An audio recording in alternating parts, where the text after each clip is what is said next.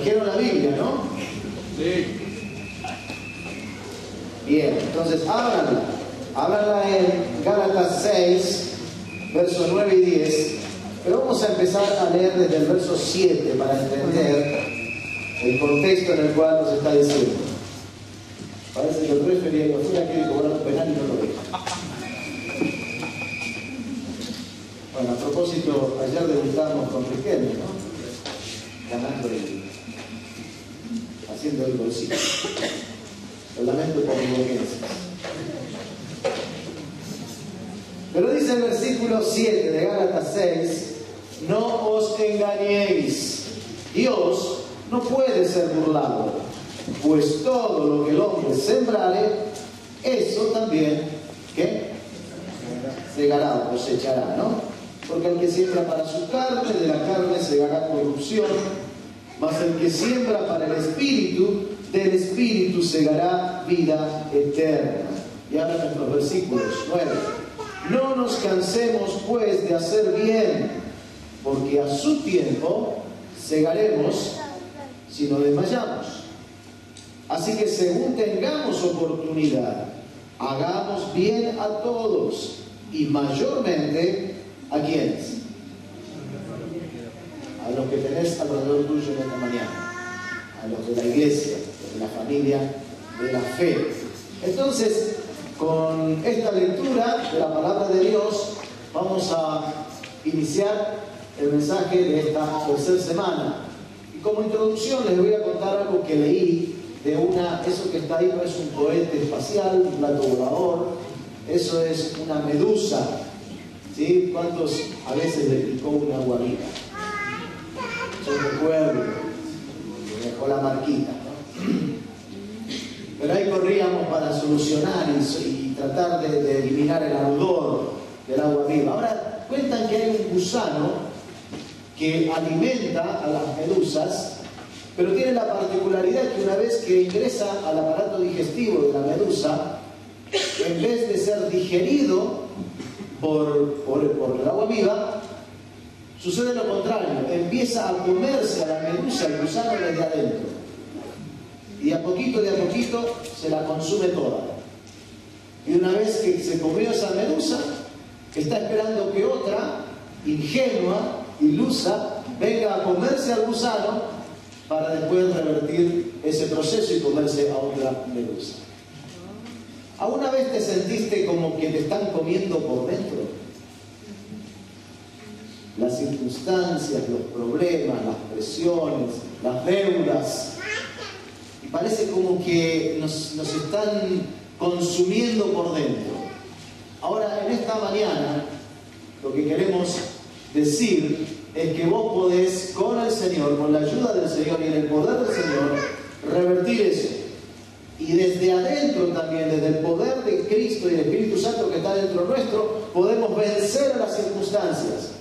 Podemos vivir por encima de las circunstancias que nos rodean y vivir realmente como hijos de Dios, como hijos del rey. Así que vamos a pensar que algo parecido, eh, por encima de las circunstancias y a pesar de las circunstancias, hubo un hombre que fue un ejemplo y en estos últimos tiempos, a partir de su muerte, se habló mucho y grandes líderes del mundo hablaron de él.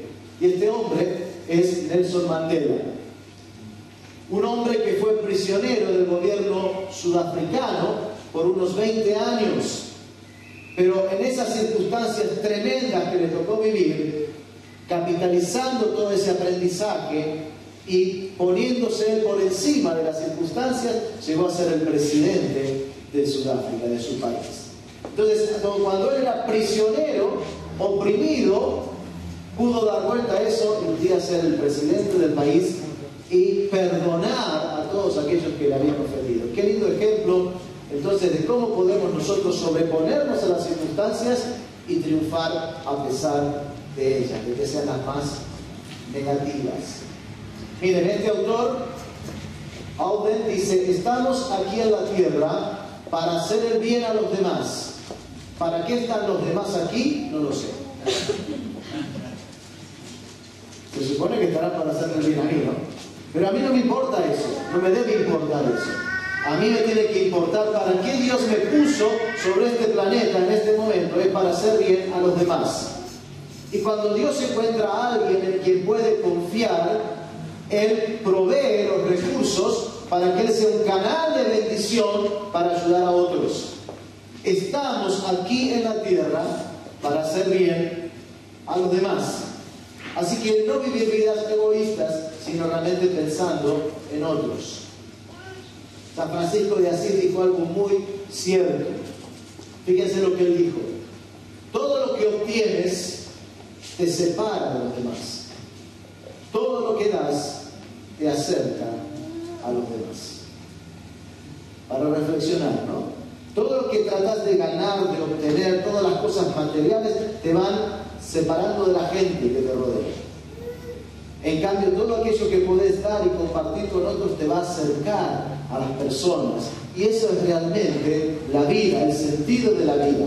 No están los bienes que uno posee, dijo Jesucristo, sino que estamos aquí no para vivir vidas aisladas, sino para poder vivir en una sociedad y poder ser de bendición para otros. Estamos para servir. Jesucristo dijo, yo no vine a ser servido, sino a servir y dar mi vida hasta ese punto de servicio, dar mi vida por los demás. Así que avanzamos nuestro texto, entonces decía, no nos cansemos de hacer el bien. Hay veces que estás haciendo el bien, ayudando a alguien y parece que nunca hay respuesta, pero no te canses, seguí sembrando, que algún día vas a cosechar. Y si no es aquí en la tierra, lo vas a ver en el cielo. Pero el Señor nos anima a no te canses, no desmayes en esta actividad de ayudar a otros. No se te ocurra empezar a vivir vidas egoístas para amontonar para vos. Miren, eh, el rey Salomón, cuando empezó su reinado, tuvo un encuentro muy, muy interesante. ¿Con quién fue ese encuentro? Que le preguntó qué cosa pides. Con Dios mismo, ¿no? Entonces le dice, a ver, pedime, ¿qué quieres que te dé? Y él podía haber pedido riqueza, podía haber pedido fama, podía haber pedido sabiduría, tantas cosas, ¿no? Pero él lo, que pidió, lo que eligió fue, quiero administrar bien tus recursos a tu pueblo. Dame la sabiduría para ser un buen administrador de todo lo que pongas en mis manos. Porque tuvo esa actitud en el corazón. Dios le dice, te voy a dar lo que me pedís, pero aparte de eso, también te voy a dar riquezas, poder, etcétera, etcétera, etcétera. Todo lo que no me pediste. Entonces, esa sabiduría hizo que en los primeros años de su vida y de su reinado tenga una administración ejemplar que le llevó a ser el hombre más rico de la tierra y a tener el reino de, Israel en el esplendor, siendo la admiración de todos sus contemporáneos. Pero pasó el tiempo y él empezó a vivir egoístamente. Y llega un punto en la historia donde nos dice que Salomón amontonó para sí riquezas, mujeres y caballos, poder, más que nadie en la historia. Eran las tres cosas que la ley decía que un rey no tenía que amontonar para sí. Pero si Dios le había dicho, te lo voy a dar, no me lo pediste, pero te lo voy a dar, pero te lo voy a dar para que lo repartas, no para que lo guardes para vos. Así que ahí está la clave, amontonó para sí todas estas cosas que Dios le dio para ser de ayuda a otros. Entonces, mayormente terminan diciendo, hagamos bien a los de la familia de la fe. Hay cuatro tipos de personas. Nosotros pudiéramos clasificar a eh, toda la, gente en cuatro tipos de personas. Vamos a ver cuáles son ellas. La primera, los que mucho hacen con, poco. Perdón, los que con mucho hacen poco. ¿Eh? Ahí está Los que con mucho muchos bienes hacen pocas cosas. Entonces vamos a, ese es el primero, vamos a ver el segundo tipo de gente. Los que con mucho hacen mucho. ¿Conocen algunos así? Son contados, ¿no? Con los dedos de la mano. Que Dios le da mucho y hacen mucho para ayudar a otros. Ahora, el tercer grupo, ¿cuál es? Los que con poco hacen poco. A eso conocemos muchos. ¿Y cuál sería el último, el cuarto? Los que con poco hacen mucho. Y estos son los que ponen lo poco que tienen en las manos de Dios. Dios lo multiplica. Así que hoy vamos a ver estos cuatro tipos de personas. ¿Están listos? Avanzamos entonces. Los que con mucho hacen poco. Vamos a leer en Lucas capítulo 12, versículo 16. Lo tenemos ahí en la pantalla, pero si lo querés buscar en la Biblia, está muy bien. Dice así la palabra de Dios. También les refirió una parábola diciendo, la heredad de un hombre rico había producido mucho. Él pensaba dentro de sí diciendo, ¿qué haré? Porque no tengo dónde guardar mis frutos. Claro, había producido tanto, ya no tengo dónde poner, dónde guardar las cosas. Y dijo, esto haré. Derribaré mis graneros y los edificaré mayores y allí guardaré todos mis frutos y mis bienes. Y le diré a mi alma, alma, muchos bienes tienes guardados para muchos años. Repósate, come, bebe, regocíjate. Pero Dios le dijo, necio, esta noche vienen a pedirte tu alma y lo que has provisto, ¿de quién será? Así es el que hace para sí, como Salomón, tesoro y no es rico para con Dios. ¿Ves? Los que con mucho hacen poco. Solo piensan en abandonar, en guardar, en asegurar su futuro, confiando en las riquezas y no confiando en el Dios que nos da todas las cosas conforme a su gracia. Así que este tipo de persona para Dios es un necio. Quizás para este mundo es una persona admirable, muy inteligente, digno de imitar. ¿Por qué? Porque hizo una gran riqueza, ¿no? Diríamos que tuvo éxito en la vida. Pero ¿cómo lo ve Dios? Fracaso, total. Necio, tonto. Has amontonado todo para. ¿Y quién será? Yo recuerdo en nuestras épocas de instituto bíblico, teníamos un profesor, un hermano de la iglesia transparente, don Aníbal Palazzo seguramente varios de ustedes lo conocen. Y don Aníbal nos enseñaba, y me acuerdo que una vez nos dijo, miren, eh, me tocó ir a hablar un cumpleaños. Entonces en ese cumpleaños hablé de la vida, de la muerte, y dije, qué tonto es eh, amontonar cosas aquí en la tierra. Dice, porque un día nos vamos a ir y vamos a estar con el Señor en el cielo y vamos a mirar para abajo a la tierra no sé por qué digo para abajo, pero... Vamos a mirar hacia la tierra y vamos a ver todas nuestras cosas, nuestras casas, nuestros autos, eh, la casa de, fin de semana, eh, todos nuestros bienes, el dinero en el banco, todo que va a dar vuelta ahí, todos los días, cada 24 horas da vuelta, cada 365 días da vuelta todo, todo está ahí dando vuelta y nosotros allá mirando cómo nuestras cosas quedaron ahí. Dijimos la vez pasada, ¿no? Que desnudo vinimos a este mundo y sin duda nada vamos a poder llevarnos. Entonces, eh, esta gente es necia.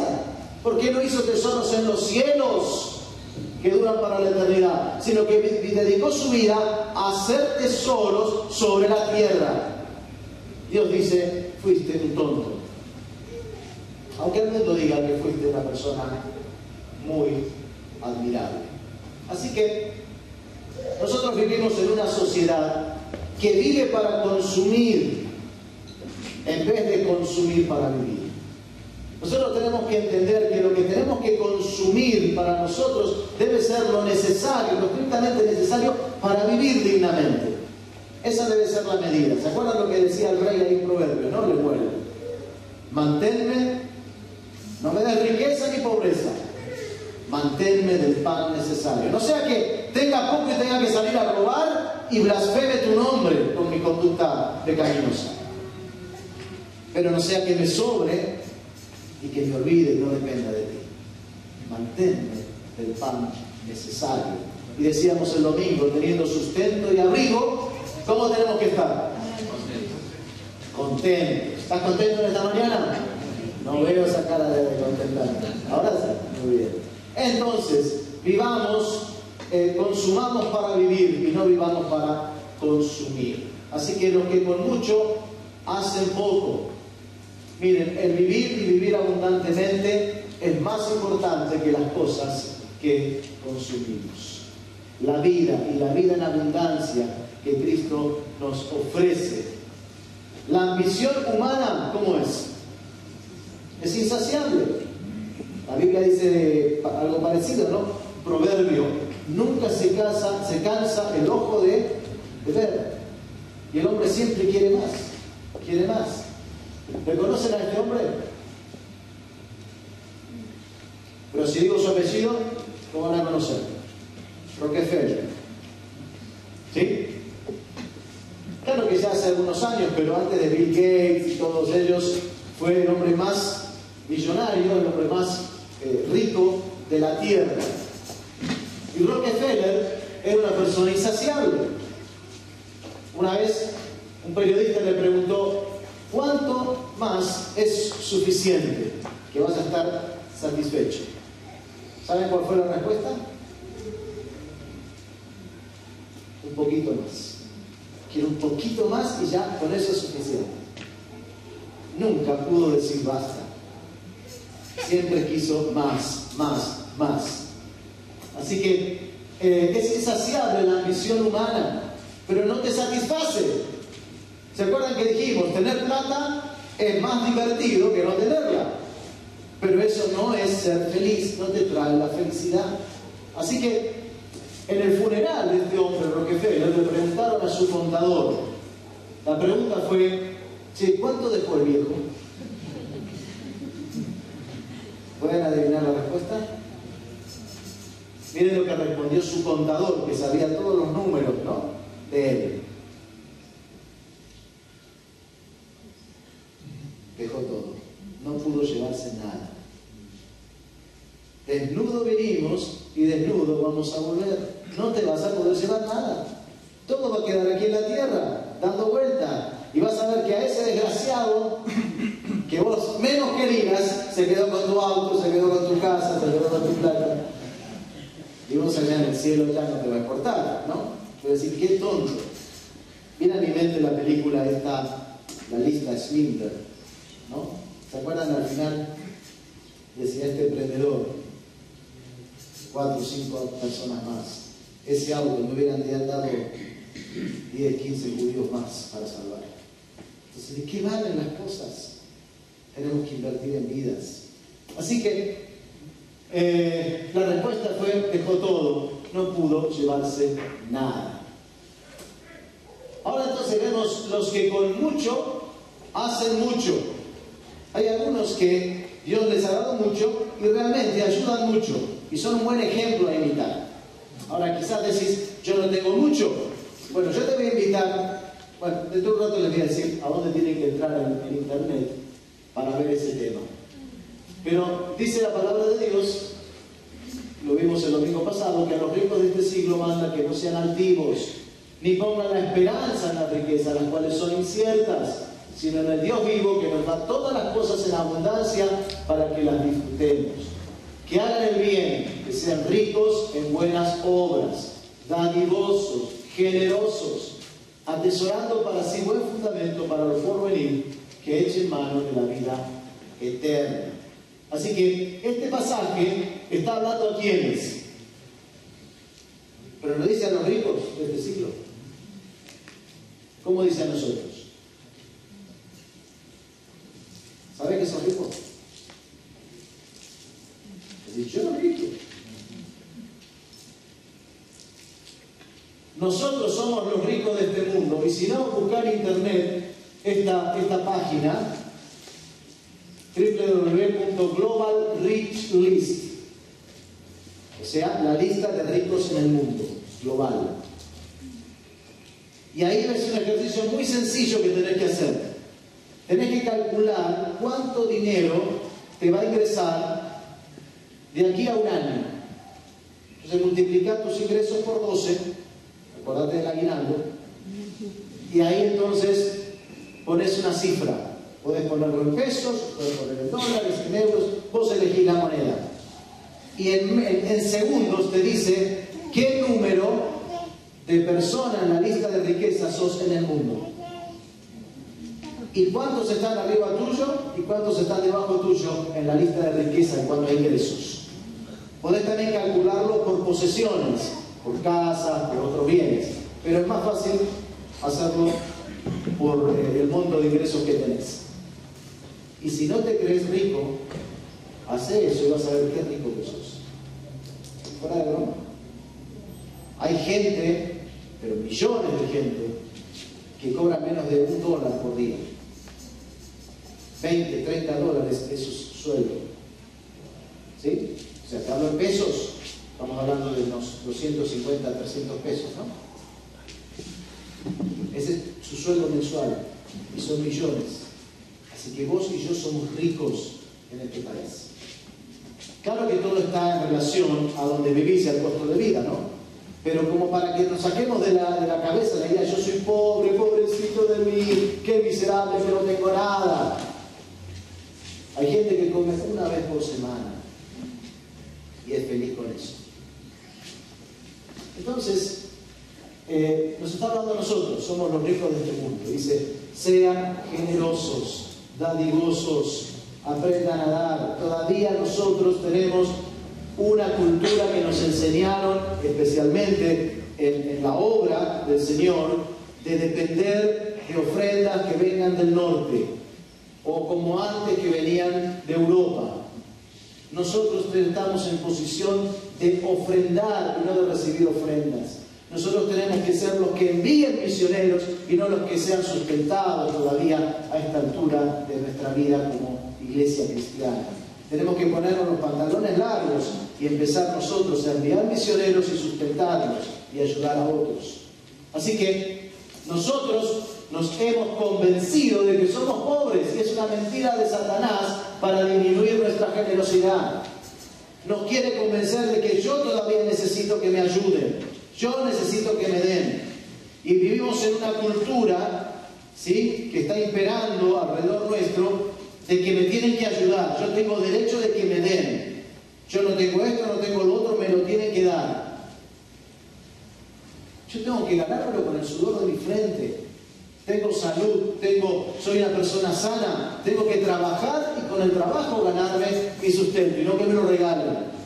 Y es más, tengo que apuntar a que lo que gano es para repartir a otros, es para tener con qué ayudar a otros. Es lo que enseña la Biblia.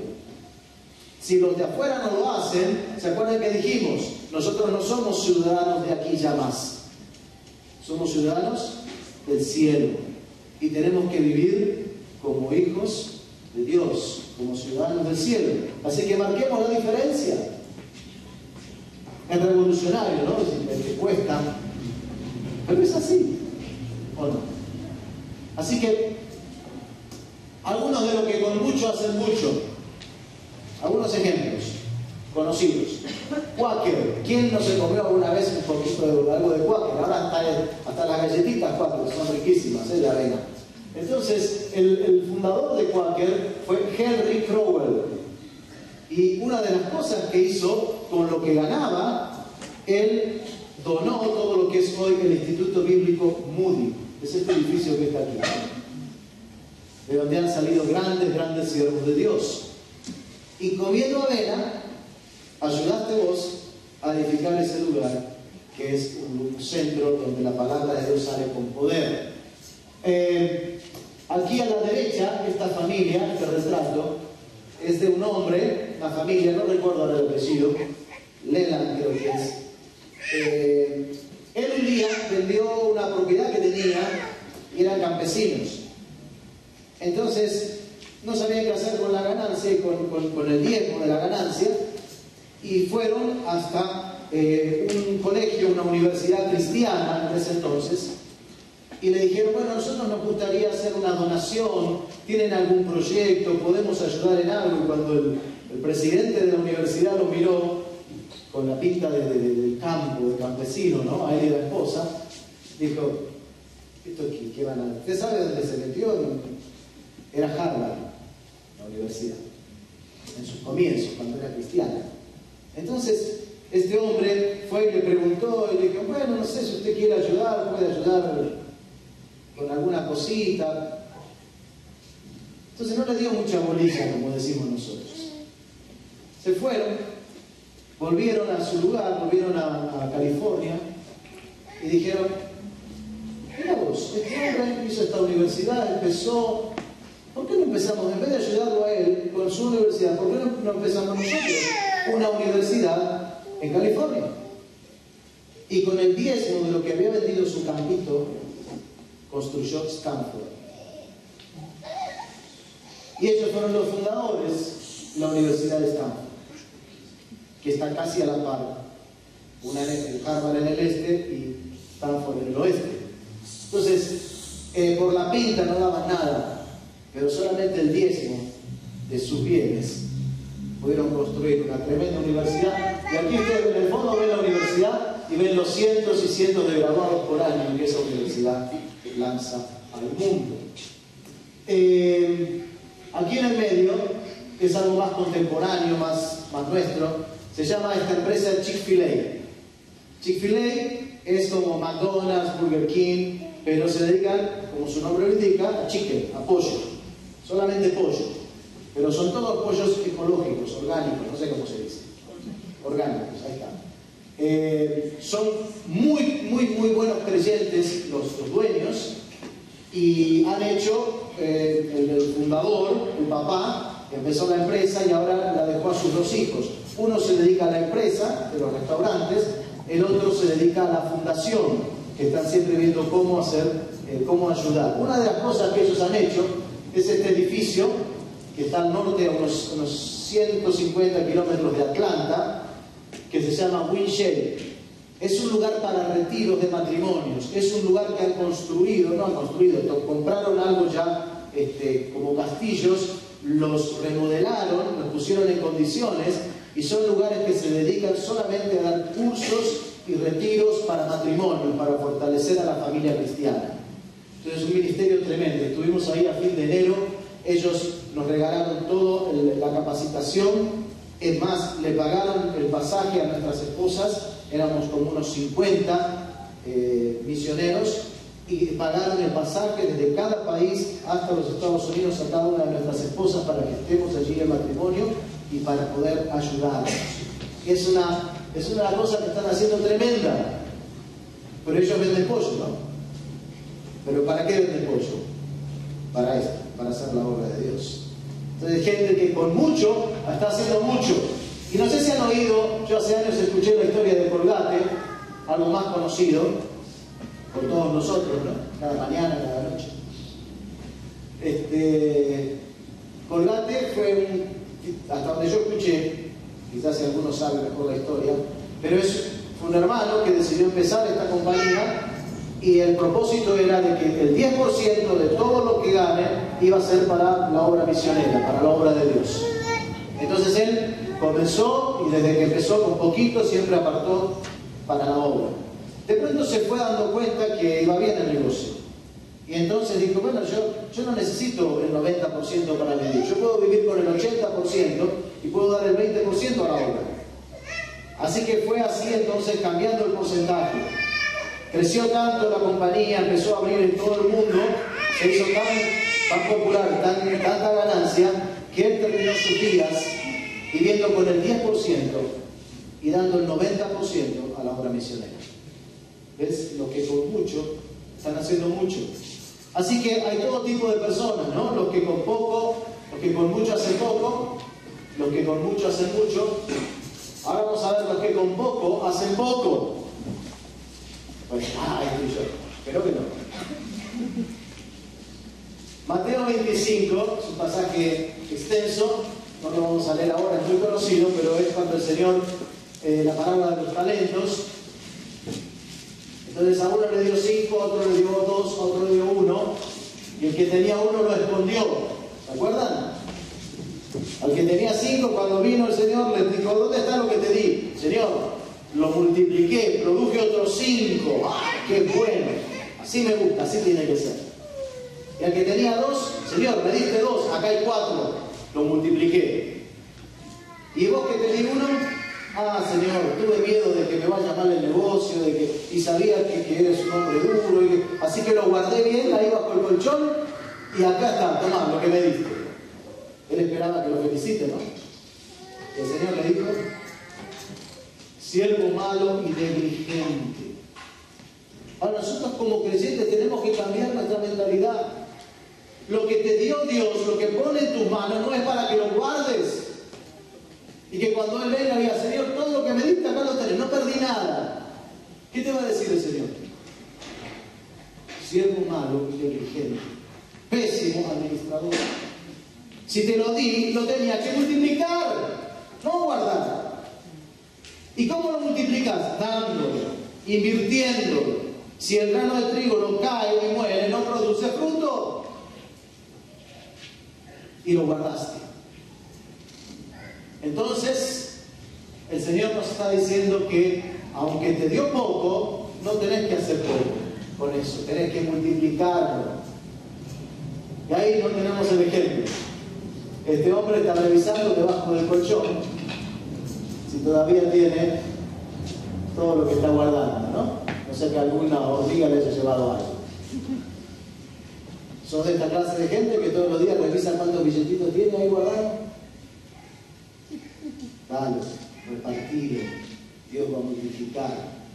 Así que muchas veces los que tenemos poco no nos involucramos en la transformación de nuestro entorno ¿Por qué pensamos alguna de estas cosas? No somos lo suficientemente influyentes como para cambiar nuestra, lo, que nos rodea, nuestra realidad. Entonces, ¿qué, va a hacer lo que yo hago? No tenemos suficientes recursos. ¿Qué va a hacer estos, pocos 500 pesos que pueda ayudar? 100 pesos que pueda ayudar? 50 pesos que pueda ayudar? ¿Qué va a hacer? ¿Qué diferencia? Entonces no lo doy. No tenemos suficiente poder de influencia, no tenemos el poder para cambiar las cosas, pero puedes ayudar. Viene a mi mente aquella imagen, ¿se acuerdan del que uno que estaba en la playa y tomaba estrellas de mar y las tiraba al agua? ¿Vieron eso alguna vez? Entonces se, se acerca uno y le dice, pero ¿qué estás haciendo? Es una tontería, hay millones de estrellas en la orilla del mar, no vas a poder salvar a todas. Lo que estás haciendo es irrelevante, irrelevante, no es importante. Pero agarra y le dice, ¿sabes qué? Para esta que acabo de tirar allá al mar y devolverle la vida, para ella es importante. No voy a poder salvar a todos, pero algo voy a poder hacer. Si no tenés mucho, no vas a poder hacer todo, pero podés hacer algo. Empezar con algo. Y para ese algo o alguien va a ser importante vas a influenciar su vida. Y no tenemos suficiente gente, a veces como iglesia podemos tener grandes sueños de alcanzar todo el barrio, somos poquitos, ¿qué vamos a hacer? Dios puede multiplicar, mientras que nos pongamos en sus manos, Él puede hacer grandes cosas y nos vamos a la obra de Dios. Dios solo está buscando gente que se haga disponible, se ponga a disposición. Cuarto tipo de personas, los que con poco hacen qué? Mucho. ¿Te gustaría ser de esta clase de personas? Vamos a ver cómo es. En Juan capítulo 6 nos habla de cuando el Señor multiplicó los panes y los peces. Cinco panes. ¿Cuánto sería si Yo no voy a comprar muy a menudo. Cinco panes, ¿cuánto? ¿Un cuarto? ¿Medio kilo? y dos peces. Dos filas de la cruz. Todos quieren ir a comprar, de comprarla. O sea, te damos de la plata y vos comprar para todo. Pero... Ahí la no va a ser mucho, vale. Entonces, cinco panes y dos peces, él alimentó a cinco mil. ¿Ves? Esta es la matemática, esta es la contabilidad del Señor. Los precios cuidados. Así que a Dios no le interesa nuestra habilidad, sino nuestra disponibilidad. O sea, Dios no está buscando gente muy capaz, muy hábil, muy inteligente. Solamente Dios está buscando gente que sea herramienta, instrumentos en sus manos disponibles. limpios que Él pueda usar. Lo que nosotros hacemos disponible a Él, lo que entregamos en sus manos, Él con eso hace la diferencia. Que el muchachito le dio su merienda y cinco mil merendadas. Pero se lo entregó todo, no se quedó con nada. ¿Se acuerdan que hablamos el domingo pasado de la viuda? Dio mucho más que todos los fariseos ricos que daban los diezmos. ¿Por qué dio mucho más? Dio todo. O sea, ¿con qué se quedó? No se quedó con nada. Así que Dios hace la diferencia cuando hacemos disponible a Él las cosas. Dios puede usar cualquier cosa que nosotros hagamos disponible a Él para cumplir con su voluntad. No es nuestra habilidad lo que cuenta para Dios, sino nuestra disponibilidad para con Él. ¿Cuánto de ti tiene Dios a disposición? Que puede libremente decidir hacer lo que Él quiere, porque vos se lo hiciste disponible. ¿Cuánto estás reteniendo para vos? ¿Qué vas a poner en sus manos esta semana? Para que Dios haga milagros. Con lo poco, mucho. Satisfacer las necesidades de muchos. Miren, eh, Dick Quinn, es el expresidente de Juventud para Cristo, una organización cristiana, dijo muchas veces, Dios puede usar lo que Él quiera para cambiar las circunstancias. Una vez Él usó un gran viento, otras veces apenas un silbido. Una vez Él usó un gran general del ejército y otras a un pequeño joven pastor de ovejas. Una vez Él usó el poder de los océanos, otra un solo vaso de agua, dado en el nombre de Jesucristo. Una vez usó un gran pez y en este caso usó cinco peces pequeños con algunos parásitos. No es lo que le das, sino si lo haces disponible a Él. Él con lo poco puede hacer milagros, milagros. Terminamos con esta historia. El padre y su pequeña niña, la papa, el huevo y los granos de café. Dice, frente al fuego y las situaciones que hierven en la vida, alguna gente dura se ablanda y se desarma. Algunos que tienen un corazón blando, amable y moldeable, se convierten en personas duras y amargadas.